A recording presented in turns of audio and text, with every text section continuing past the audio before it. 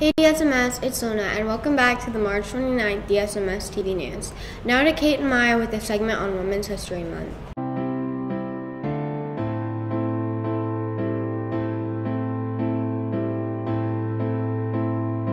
Today is our last segment on Women's History Month.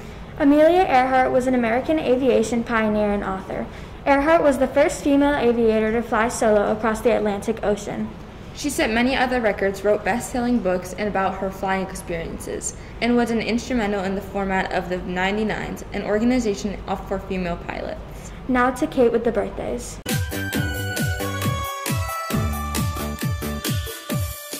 Hi, it's Kate with today's birthdays. Happy birthday to Annika Gore. Now to lunch with Maya. It's time for lunch! What time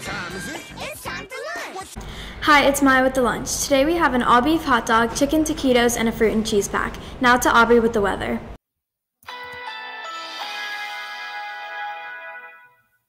Hi, it's Aubrey. Today we have a high of 90 and a low of 57, with a 24% of humidity and 4 mile per hour winds. Now back to the anchor.